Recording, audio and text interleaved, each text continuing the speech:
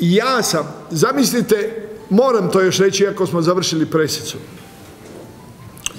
Kaže on, kaže predsjednik Barišić na sastanku koji je pod utjecajem Kreša Antolića napravio sa članovima radne zajednice Dinama, ali koji su isto vrijeme i članovi Skupštine Dinama. I sad naravno da bi ih se preplašilo, da bi im se mobingiralo, ovaj, jel te, ja nisam došao tu, jel da vas ja borim se za glasove, vi imate svoje glave, razmislite o tome, ali to se ponovi jedno 50 puta. Znaš ono, kak ti ja lijepo ti kažem, onda te nokautiram. Ne? I uglavnom, ovaj, na tom sastanku gdje je legenda kluba, znajući istinu i zaprepašten onim čemu se govori, pita Marijan Vlah pet puta predsjednika Bariša. Pa predsjedniče Barišiću, hoćete li mi odgovoriti i opet i opet pet puta ga pita da vi hoćete reći jer tu tezu stalno provlačite da sa Zdravkom Mamiće se niti komunicira, niti smije komunicirati nakon pravomoćne presude, ovaj, da li je to stvarno istina? Da vi niste imali i niko iz kluba kontakt sa Zdravkom Mamićem, jer Vlak zna da je istina drugačija. I kaže mu mrtav hladan predsjednik da je to istina.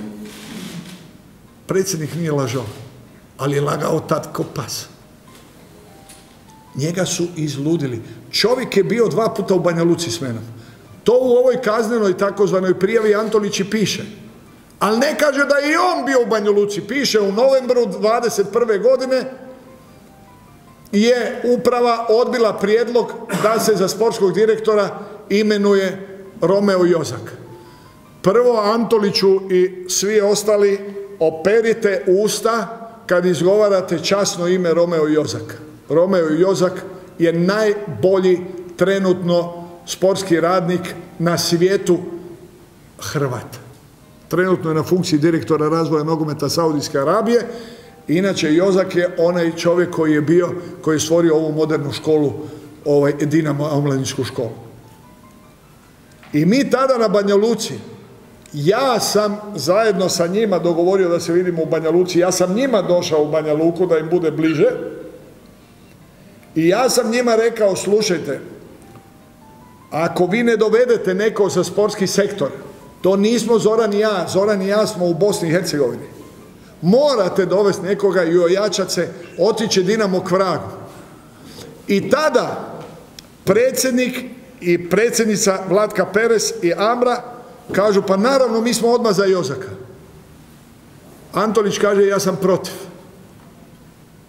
Pazite, pored živog predsjednika, pored žive predsjednice upravo on kaže ja sam protiv.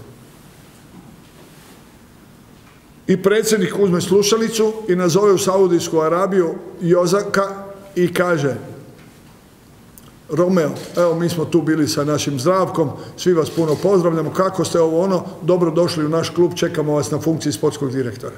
Novembar 21. godine, ja sam presuđen pravomoćno u trećem mjesecu 21. Bio sam sad, prije tri mjeseca ili koliko, dva, mogu dan izvaditi kad sam bio ponovo u Banja Luci sa predsjednikom jel treba nešto tvoje djeci, jel treba tebi, jel treba otići na grob tvog tate da, da, da, da svijeće upalimo, da svijeće zamijenimo, da ga očistimo. Pa to su oni radili. Pa zašto ne bi razgovarali o našem Dinamu? Ali ne možete reći i zanijekat da se viđate s menom i da ste me zvali naravno i ja vas, ali puno puta više svi ljudi iz kluba mene nego ja njih, pa čemu to? Pa od čega se mi to stidimo? Pa ja sam s tim ljudima stvarao taj Dinamo.